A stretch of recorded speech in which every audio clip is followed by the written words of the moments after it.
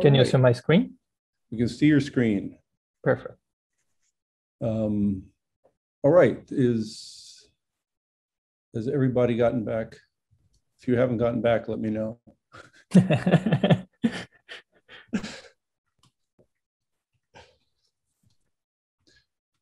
All right, welcome to the to the second talk uh, for today. Um, and um, Ewerton uh, Vieira, who's here at, at Rutgers, uh, postdoc at the Tripod Center, will be giving a talk on learning global dynamics from data. Okay. Go ahead. So thank you very much, Konstantin, for organizing this uh, workshop. And today we'll talk about learning global dynamics from data and apply this to robotics. So the outline, it is, I will take this uh, Acrobot. This is one of uh, famous um, um, uh, control uh, that you have, uh, that you want to stabilize, that want to, you have this double pendulum and then you want to get this double pendulum to, to stabilize in a region that is, it is without the control it is not going to stabilize so it's going to stand up and yeah starting with that uh, we are going to you take some data from this whatever function that you are applying whatever control that you are applying uh, takes uh, data from this one and try to fit a, a surrogate model. Um, so because you have this data from from the, the state space, uh, we need to construct this surrogate mod for the whole state space. And from there, we want to build uh, the techniques that we, uh, Marcio and Konstantin Marcio and Bill uh, talked uh, yesterday, using the Morse graph and doing the topological data analysis here to, to understand the global dynamics uh, of this of this let's say unknown uh, dynamical system okay? So this is uh, the outline. First i will start with uh, uh, talk about the combinatorial dynamics some definitions that i'm going to use. Then i will talk about the surrogate model. Here i will talk about the gaussian process specifically. Then how from the data to to get the global dynamics and then application to robotics. Okay. So we start with a compact space and a discrete dynamical system. Uh, if you have a continuous dynamic system, you can use the time map of that continuous dynamic system. Uh, we are interested here in uh, in understanding invariant uh, sets uh, for the discrete dynamic system is the f of s equals s. And okay, so how to capture the, the dynamics from the data? Like how to capture those invariant sets.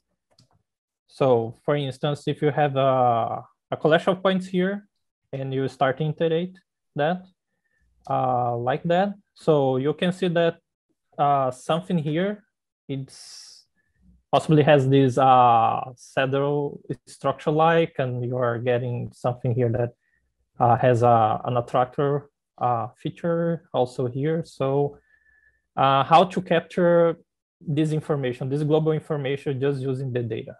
Um, so the approach that we are doing here is to consider a combinatorial representation of the dynamics to to to be able to capture those attractors and possibly the saddle here.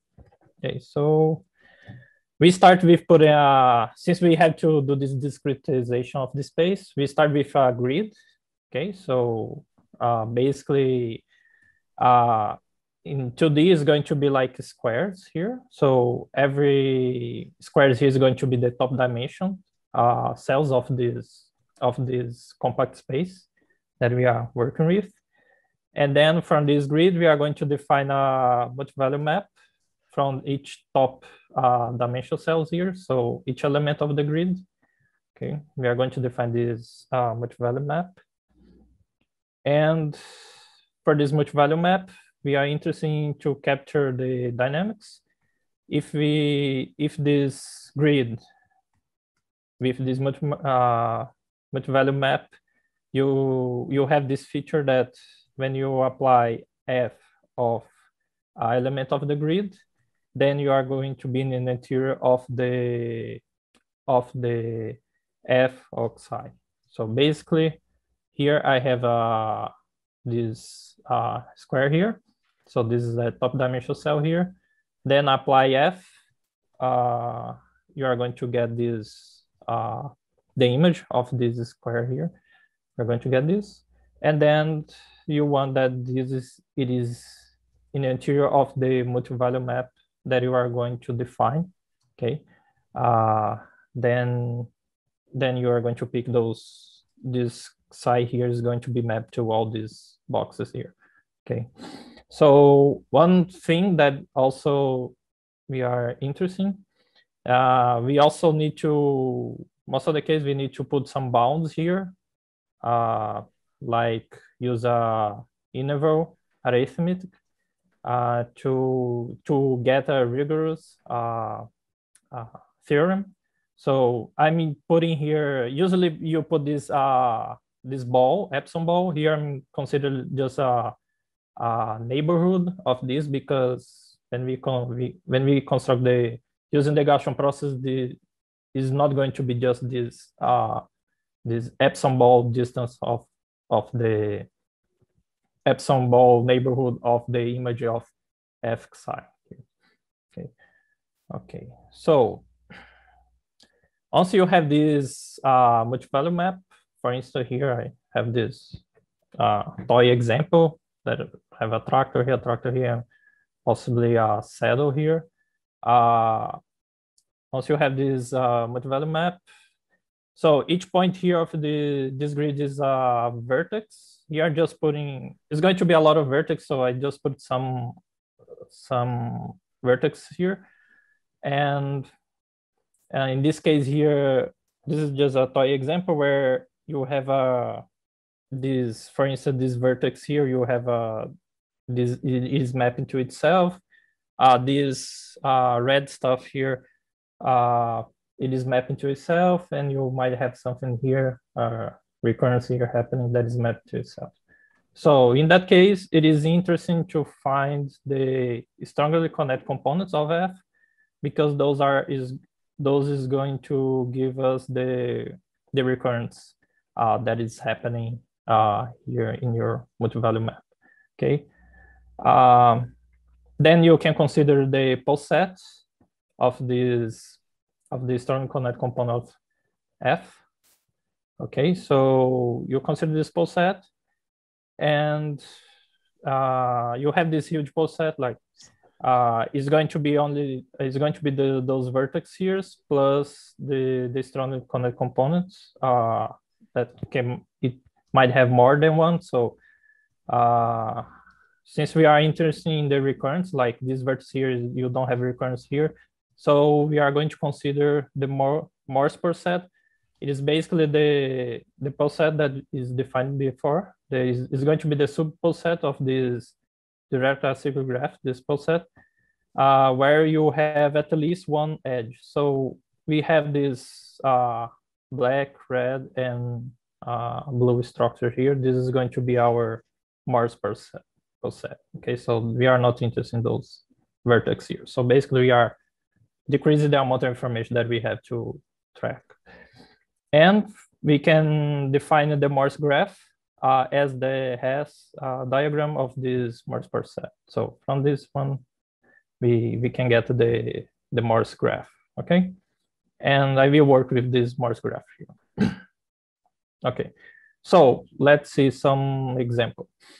Here we have this uh, ODE here, and here's the uh, state space of this ODE here. And we can use the, we can use the the tool that the Marcio uh, showed us, uh, the Conley Morse graph database, that algorithm, uh, where we can basically, we can, from this one, we can find this uh, using a grid with 2 to the power of 18 cubes. It's basically 18 subdivisions here of your state space. And you here you find the recurrence and then here you get the Morse graph for this uh, for this the multi-value map that is defined here in this uh, uh, this grid. So you can see here uh, we, we we are able to see some saddles, uh, attractors like zero. This one is this attractor here. Uh, this one is this attractor. This one, this one here. Uh, you can also you can see the the call index. Also here I'm computed the call index. Uh, uh, here, like for instance, uh, here the attractors have the call index of an attractor, uh, call index of the saddle. So you, if you compare those two dynamics here, you are getting the, uh, you're getting the rigorous dynamics representation of this, of these dynamics here. Okay.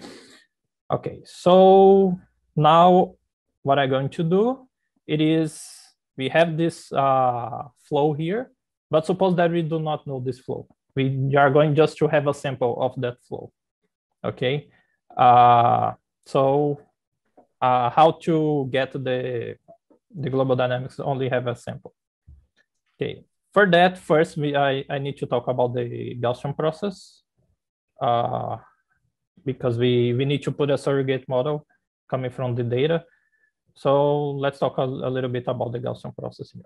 So uh, denote this n as the multivariate uh, Gaussian distribution with the mean mu and covariance matrix sigma. Okay, so here's an example of a multivariate uh, normal distribution. Uh, Gaussian process, it is a collection of uh, random variables uh, where any finite uh, subcollections has the Gaussian distribution. Okay, so we have these random uh, variables uh, where when you take this uh, any finite uh, subcollection, you have this uh, Gaussian distribution. Okay, uh, and this Gaussian process is entirely characterized by the mean. Okay, so you expect the value of these random variables and the covariant function uh, given by this formula here. So you you can uh, you have this the Gaussian process and the mean and the covariant function here, and let's denote this by uh, let's denote the Gaussian process by this. Okay, okay. So now that we have this Gaussian process, uh, we need to find the the mean and the covariance uh, the related structures. For that, we we consider the you have to have this uh, training data. Uh, for this training data, uh, uh, for instance, here you you have those points here that is going in red here. Uh, that is going to be your your training data. Uh, then for this this training data, you you can have a, a predict uh, distribution of the outputs given the inputs uh, x star here. So you have the the probability is going to be of the output uh, is going to have the distribution of this uh, multivariate uh, Gaussian Gaussian process uh, distribution, where the mean of this uh, predictive distribution is going to give by this formula here. And the, and the sigma, the covariance uh, matrix is going to give by this formula here, where uh, here you have to specify a kernel for to to get the this mean and this uh, covariance matrix. Okay, so Uh, this now you have to select a kernel. Uh, here in this picture, I have select this radial basis function. Basically, uh, if you are if you are close to the, you take two points, and if the, those two points are close enough, they are the the core uh, variation is going to be the core correlation between those points is going to be higher than uh, if you go if you have points that are far, then the correlation is going to be low. Basically, you see this from this picture. Uh, here you have this uh, the prior. You start with a mean, then you then you you start this the mean, and then you you are going. Uh, it's better to explain this first. Okay, so you have this uh, this uh, kernel, and then you have two parameters here. So you want to maximize the marginal likelihood of the, your output. Okay, the prob probability of your output given the the those parameters. Okay, so uh, here if you start with that, uh, here you have the parameter one for the sigma and for the lambda one also, you have this. But uh, after you use the data, uh, you here you have this the using the uh, optimization for these hyperparameters. You you get this 0.5 for the for the sigma and the uh, lambda is going to be 0.2 2.7. So basically here you you maximize maximize your those uh, uh, hyperparameters, and then uh, when you do that, you using this this kernel, you can see that feature happening that uh, when you are far from the from the the training data, uh, the confidence confidence interval it is start it is this is going to be higher because here you have uh, uncertainty. Okay, so it's the uncertainty start to increasing when you are far from the data. Okay, so this is basically capturing by this kernel. Okay, it is possible also to change the kernel uh, there there are a lot of uh, kernels that you can put here. So it's uh, the prediction is going to depend is going to depend on the, the, the, type of kernel that you are using. Here I'm using another one, Matern. Um, and then this is the this is the prediction given by the, the Gaussian process. Okay, so uh, using the same data but different kernel. Uh, here I'm using, so since it is a optimization problem, uh, you here I'm using the a scikit-learn that is uh, that is giving this these pictures here and giving this uh, optimization. If you use another technique, they are using the gradient uh, descent to find this, this those high parameters.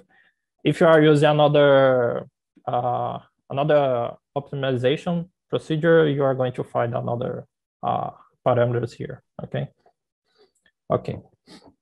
Uh, okay, so now from this, now that I have those points the, from the data, I need to construct the, the multi-value map, okay, using this all this information uh, given by the Gaussian process. Okay, so the first step uh, that we can do is use the prediction given by the Gaussian process. Okay, so the Gaussian, once you have the data points, uh, here is unidimensional, but I'm interested in high dimension, but it is easier to explain in one unidimensional case. Okay, so when you have the points, uh, you you had the prediction given by the Gaussian process. You can use that. You can use the those are the name of these those fun functions here are posterior. So that is that you are getting getting from the Gaussian process. So you can use the the post, posterior mean to use this as your map that you are going to use for to define this uh, this grid. So basically, if you think this f here, if you take the posterior mean, that is the this uh, this in, in hard uh, bold uh, black here function, uh, you can think that as the this the f of this uh, take uh, the psi here, this cell here, and apply f. then you have this uh, the image of that. But you need to put some bounds because you need to increase the size of U because you have uncertainty, okay, uh, for that. And that's why I put U here because this uh, you you have uncertainty given by the by the interval, uh, confidence interval here in one dimension.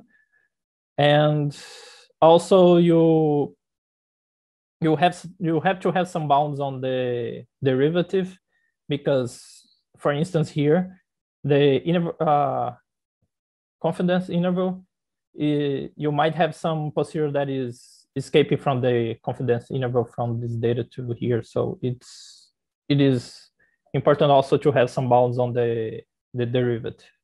Okay so so the second step it is using the confidence interval. If you are using one dimension if you are using a two dimension case you you have to consider uh, confidence ellipsoids.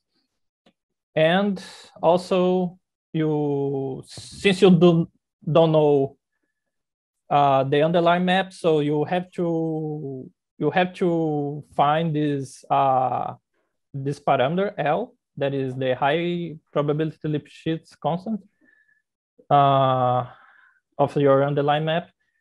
Uh, so you can have this bound on the derivative. So here, uh, one-dimensional case, we uh, one of our colleagues, uh, collaborator here, it, uh, have a great idea to how to define this multi-value map. Basically, I'm just going to give an idea because I, I want to also show the application to the robotics. But the overview idea here is uh, you have the, the confidence interval uh, here. So you are going to fill the, with the box. So you can cover all the confidence. But you also need to consider this, this bound of the of the derivative given by the those conds here that is given by this uh, Lipschitz constant that you, this parameter that you are using. So you can, uh, from this, uh, from this uh, confidence interval to the next one, you can have this uh, guarantee that your, your map, the underlying map is going to be uh, inside here. So it's going to be, uh, the multi-value map is going to be, is going to be capturing the, uh, the underlying map. Uh, yeah, so there is going to is going to be inside here, but of course this is uh, with some probability. Okay, so there is uh, there is some uh, theorem that uh, uh, we are having the theorem that with some high with some uh, probability we can build this such in such a way that the underlying map is going to be uh, is going to be uh, inside of uh, the uh, the graph of this the, the this underlying map is going to be inside of the of the uh, map. So all features that we are capturing is going to is going to uh, yeah is going to be related to this uh, probability. Okay, for high dimension, uh, this is uh, we have this uh, work in progress because we need to use the, the ellipsoids, uh, the conf confidence ellipsoids, and then there's going to be a, a, correlation between the variables because now you have more than one. So it's, we, we are constructing that much uh, value map uh, for this high dimension.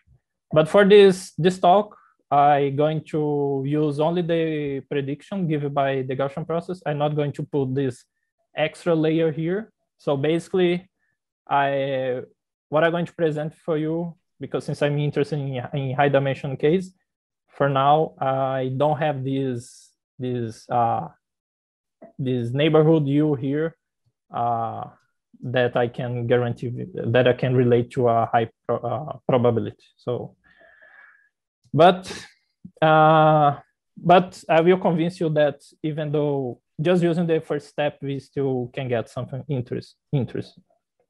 Uh, so, uh, yeah, so the question is now that we we can define this multi-value map, uh, we are we can relate to a probability. So the we this Morse graph that we are getting is going to relate this. Uh, there's going to be a relation between this Morse graph and this probability that is uh, coming from this uh, from the the, uh, the way that you are building your multi-value map.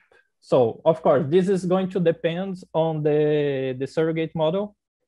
Uh, here I'm using the Gaussian process and the Gaussian process is, is, using the, you have to have a choice of kernel, like I did here for the, this is the matern kernel.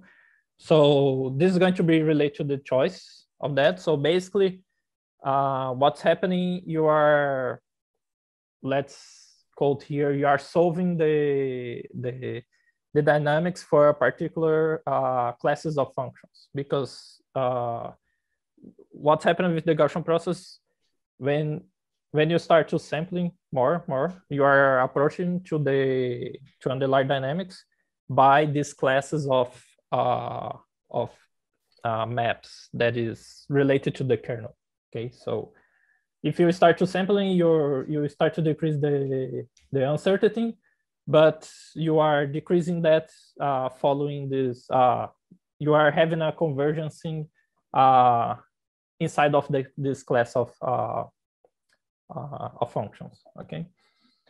Okay, so let's, okay, so now my goal, it is to use just the first step, just the prediction given by the, the Morse graph and use uh, for the Gaussian process and use that to show you that it's it, it is actually for the example that we have is, is doing a great job. Okay, so here again, let's come back to that uh, problem again, uh, to that example. Here I'm going to fix the grid again with uh, 18 subdivisions. And here I am going to use this as my true map, okay?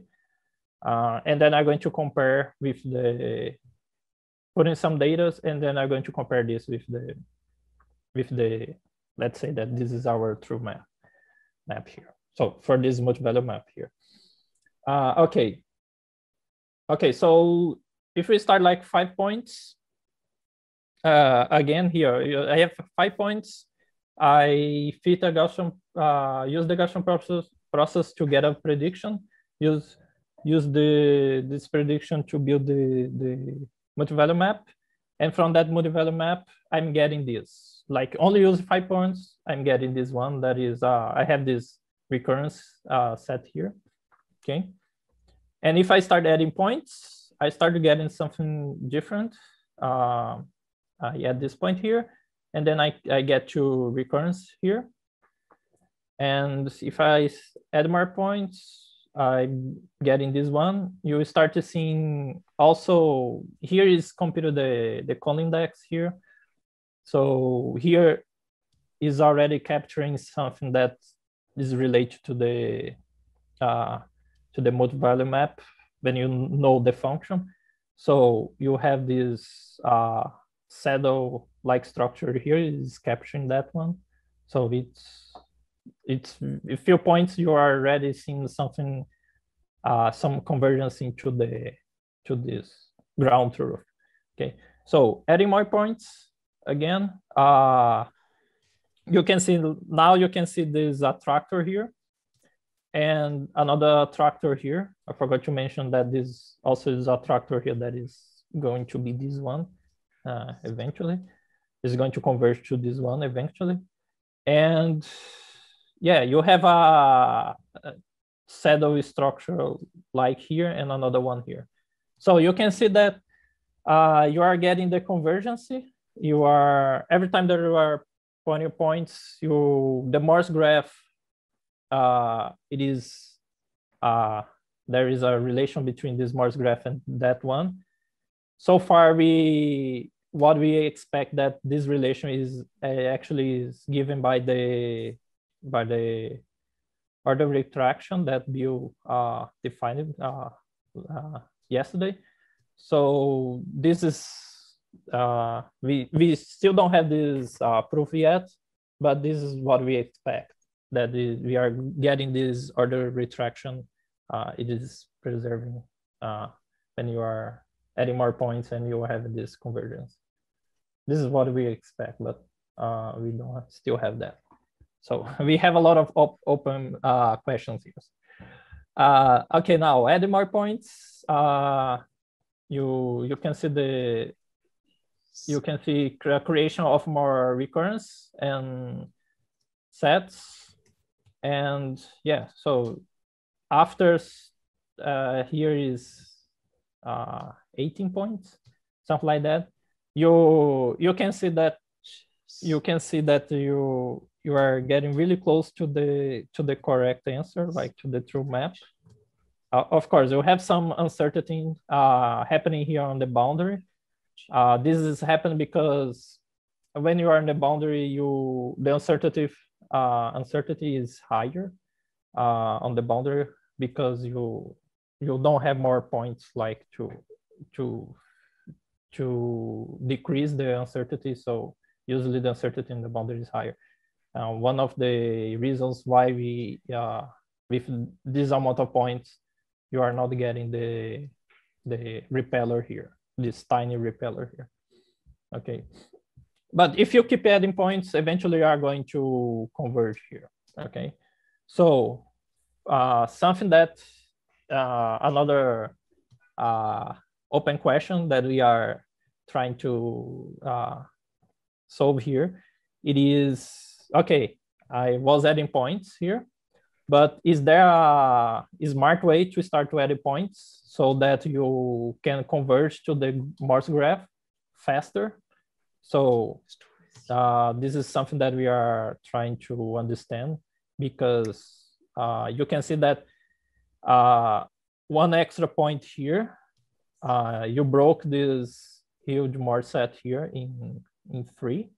So this point was uh, important to add and why well we this is something that we are investi investigating but this is something that we can retrieve from the from the from this uh, order retraction that we are having from the uh, from the previous case so this is something that we, we are investigating so we, we don't have the answer yet for that but it is, it is interesting uh, because with a few points you are getting this uh, these dynamics here. Okay, okay. So now that we have that, uh, let's apply this for the for the acrobat case. Okay, so the the acrobat case again we have this. Uh, this is the the equation uh, for the acrobat case uh, where he use the torque here I have the theta one, theta two, uh, and the velocities. And the torque here is going, all of them is bounded. Uh, the velocity is bounded. This is important. Uh, we are going to see this happening uh, in the data. Uh, and the torque also is going to be bounded. Okay, so you can uh, can I make sure that I understand that the vector u has only one non-zero component at the elbow. There's no component of u at the shoulder. Is that am I getting that right?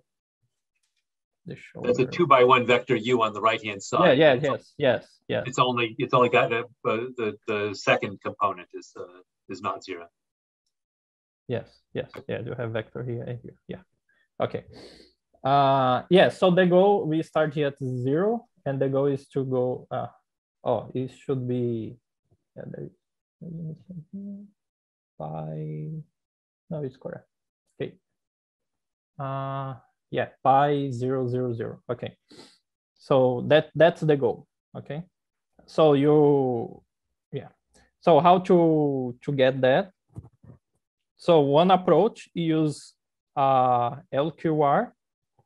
Basically, basically you are going to linear linearize and uh, locally the flow and the, ODE. And then you you have to uh, there is a cost function because you need to find the the control uh, u. So you need to, you have this cost of uh, cost function and you, uh, you have to minimize, minimize this. Uh, and the minimization is going to give the, the controller for the, for the, that uh, locally is going to give you the, the controller. And then you apply that, uh, that controller to your linearization and then you uh, let me show you a bit. And then you after uh, you apply that and then you uh, for each point you basically it, this is really important because for each point uh, locally you are li linearized uh, you get the this u that is the that is minimization of this equation here. Uh, and and this this is happening for each point you minimize that. So this control it is it depends on the position it depends on state step pace, so the position and the the vectors but depends uh, continually so here we we have a uh, the solution for this this system is, is a continuous function okay okay so here uh, an example that uh, this happening here. So this is uh, this is for the torque uh, minus seven to seven. And here is for high torque. Uh, so uh, when you use a high torque, imagine like the torque is it is putting energy to the system, so you can fight the the the gravity. So basically, if you are able to put more energy to the system, you are able to get uh, faster to the goal, okay? Okay, so what I'm going to do now is I'm going to treat that this LQR uh, as, as a black box, and I'm going to do some sample here. Be because I'm going, uh, why the, why I'm uh, uh, using this as a black box because LQR, you have to integrate and minimize that. So it, it, takes some time if you want to do this globally. Okay, so for the whole state space. Uh, and since we, we want to understand the global dynamics, so the fastest way to do that is, is use some data coming from the LQR and then build, build this surrogate model. Okay, using the Gaussian process. So here, I have the, the data from uh, 30 path. So the data from uh, 30 path and here. So basically here's the theta one and theta two. Uh, I'm using the initial points are the red dots and the endpoints are the x's. Uh, here you have around uh, 3,000 points. And the time step, it is 0.1 seconds. So after 0.1 seconds, uh, take the initial condition. After 0.1 seconds, you have the endpoint here. Okay. Okay. Using this data, uh, we can feed uh, uh, use the Gaussian process to get the prediction. Here I have the prediction. Here I'm just showing the the theta one and theta two, but this is uh, doing a 4D uh, using all the variables. Uh, here I have the prediction, and then using this prediction, I can build my, uh, I can compute the Morse graph, okay? So here's the Morse graph. Uh, you have recurrency here. Basically, this recurrence is happening because you, uh, when you are zero, zero, you need more time to, because you are putting energy into the system, so it's going to take more time to go out from zero zero. So that's why you, you have this uh, huge recurrence set here. Uh, then you have this, this another recurrence here that we did not expect. Uh, and I'm going to explain why this is happening. And then here you have the, the, uh, the goal. The goal it is inside of the, that region that is our uh, attractor.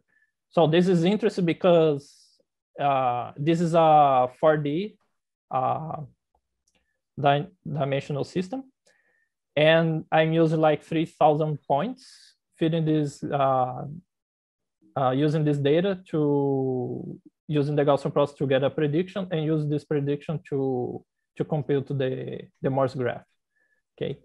And for that, we already getting this, uh, the goal here. So the, the attractor, what we expect is actually happening. So uh, this is the attractor of the system and this is what we expected from the from this data. Okay, so the yeah the prediction is doing a, a good job here. However, we have this something in here is happening. Okay, so we decide to investigate that. Uh, yeah, here's just saying the dynamics of B10 is suitable. So the global dynamics is suitable.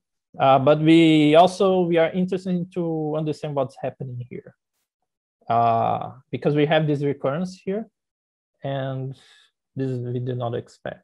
Maybe it's just uh, because we need to do more subdivision uh, that recurrence might disappear, but some using some data like doing more analysis here, uh, applying the time step 10 seconds. So give the LQR 10 seconds to to get the to get the initial point to the goal. We see that some data are actually accumulating here. So this is, uh, well, so if the data is accumulating here. So we might have a saddle, something like that. Recurrence happening here for the theta one, theta two. Okay, so uh, using the using the LQR uh, as my map now, instead of using the, the Gaussian process, this is the, the Morse set that we get, and we are still getting the recurrence. And this is, in order to get this, it takes some time because uh, here I'm using the LQR. I'm not putting a surrogate model. So use LQR for the all the state space. And for, for each uh, box for the, your grid, you need to, to see the, you need to compute the image of that. Basically, for the box, you are doing, you, you need to compute the image of that. So you are doing a lot of integration here. Okay, so this, this takes too long to compute, but good that is 4D, it's, it is still possible to compute that. But if, if you go for a high dimensional system, this might take forever to compute the without using this uh, surrogate model using just the this algorithm uh, it's it might take forever to compute this okay so well we we want to uh, check uh, if the surrogate model was the information from the surrogate model is it, it, it is makes sense and then taking a point here of this of this Morse set. We what we see here is the uh, trajectory of this point. This point start here, and then you can see. Then you can see uh, the point start here, and then jump to here. This jump is continuous because uh, this is a this is an angle. So basically, you are since this is going to be a torus, so this this point here is near to this point here. So you are seeing some jumps here, but uh, this is actually a torus. So they are they are staying here, uh, and pi, okay, close to pi. And the velocity, it is, you go to six, but you are bounded. You, your velocity is bounded by six. Your system has this bound to the velocity. So basically you, you go here and then you had this bound to the velocity and then you, then you go from six then go to minus six, and you keep doing this, this oscillator. So this is basically the trajectory from this point here. And it is like after 10 seconds, it is still there. So you, we found a place where there is no convergence, uh, is not going to the goal. So basically using the surrogate model, we will, we was able to find that, but we want to be I 100% uh, sure that actually we were doing a, good job. The surrogate was doing a good job. So we did also this for the using the LQR as a function and we found this happening. Okay, now how to solve this problem? Uh, the way to solve this problem is, well, uh, if you increase uh, the, the integration step, we were doing this for 0.01 seconds.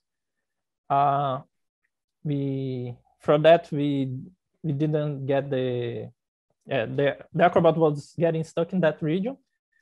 But if you increase the, inter, uh, the integrity step, or if you change the bounds on the velocity, then you are able to, to yeah, when you get here to this point, then you are able to, to move there from the, from the, to the goal.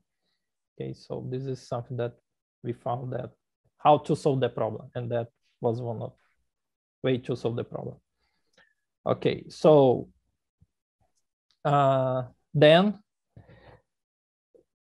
because of that, uh, we saw some uh, so, some points is getting stuck here. Uh, we decide to to check what happened if you change the torque because okay, what happened if you increase the torque if you are able also to go out from this point, okay?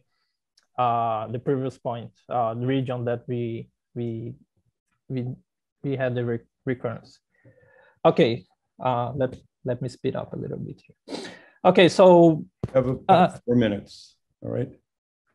Yeah. Okay. Uh, okay. So we ha we have the torque here. So we have this. We have the bounds of the torque, here, if you put, uh, uh, if your torque is too low, then you, you are not able to go to the goal. So you don't find this attractor uh, that includes the goal. But if you start to increase the torque, uh, you start to getting something interesting. You start getting a bifurcation happening.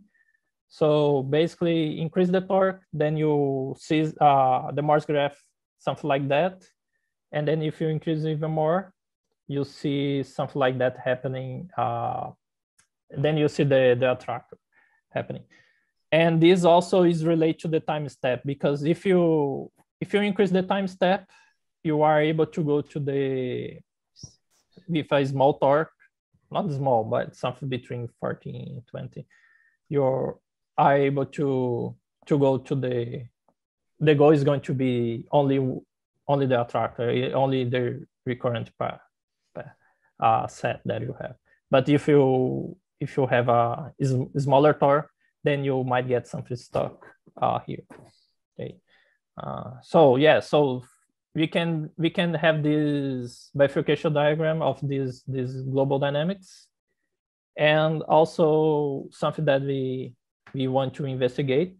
It is the chaotic behavior of this invariant set when you are going from this low torque to higher torque.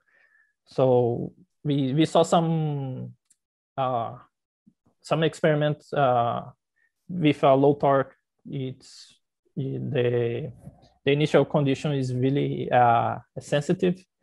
So to the initial condition, so we expect to have some uh, chaotic invariant sets here happening. Okay, okay. So now that we we have this analysis of the LQR, we want to understand, uh, we want to uh, put some uh, obstacles here for the for the acrobat. Here I have four obstacles, and and how to to get to the goal, avoiding the obstacles. There is this uh, motion planning. Basically, basically you you have this uh, you have this huge tree uh, where you select the the the, the control uh, for each point, and then you are and then you you have this huge tree when you have the when you have a trajectory that is hitting the the obstacle then that that path that you are taking is not good so you have to explore your, your state space building this huge uh, tree of uh, controllers.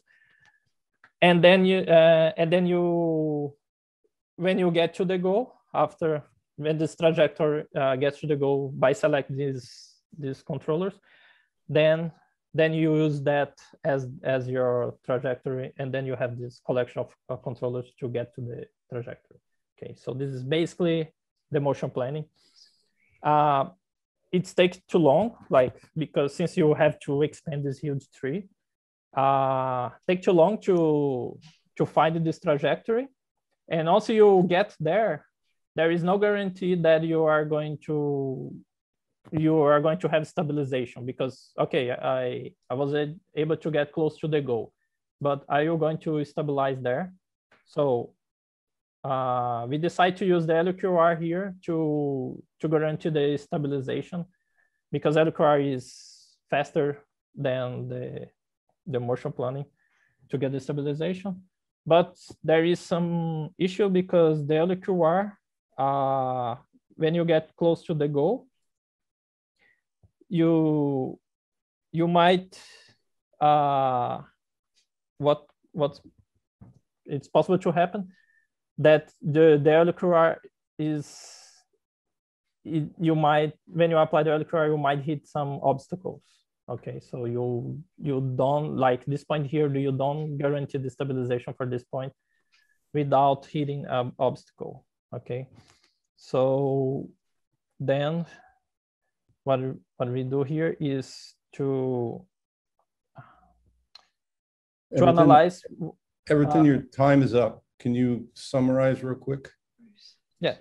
Okay. So yeah, we we trying to find the the attractor region for the LQR uh, near to the goal. And here we we have this attractor here region. We we see that this is a, a has this trapezoid shape. Here you have the initial points and the end points.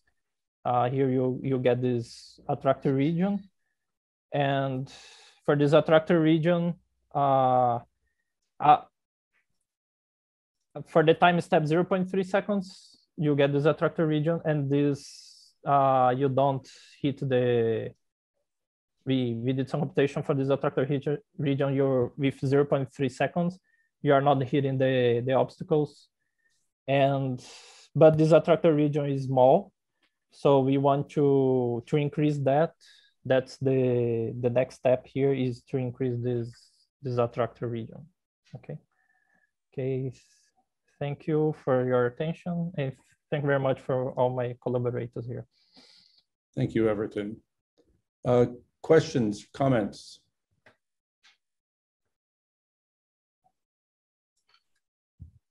Dan.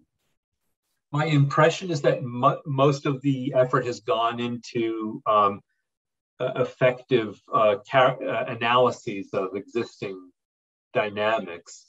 I'm wondering if you've thought about whether you're interested in taking a compositional approach now that you have the ability to detect pretty robustly, well, we hope pretty robustly, uh, um, uh, basins in, in roughly speaking basins and certainly uh, boundary markers, you know, saddles, a various description around those basins.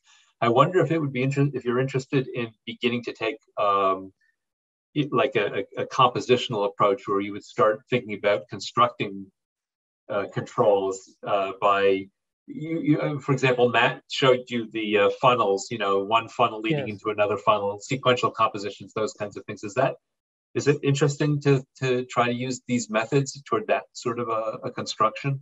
Yes, yes, yes, yeah, yeah. We we this is our next step. Also, like uh, we founded this attractor region, then we want to construct those funnels.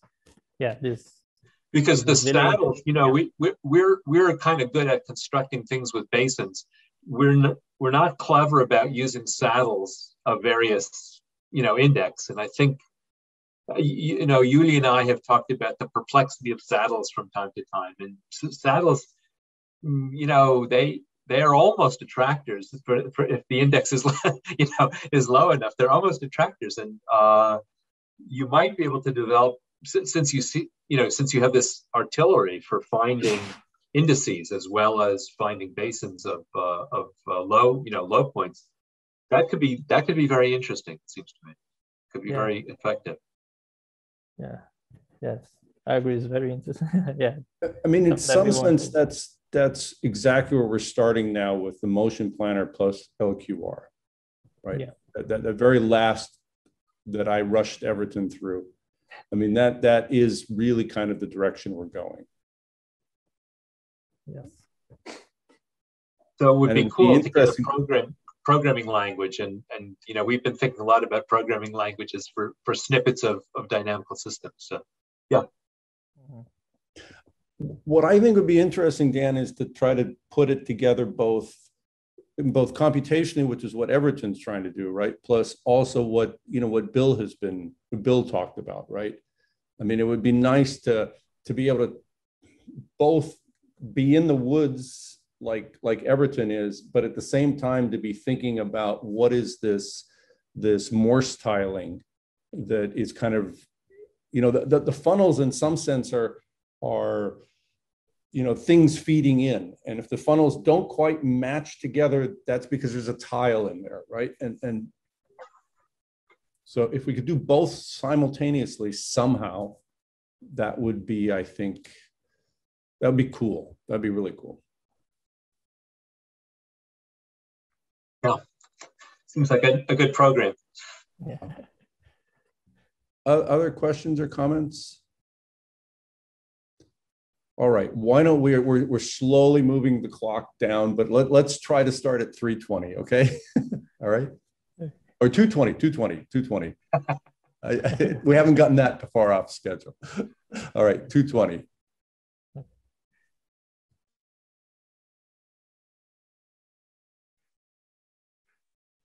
Thanks, Ewerton.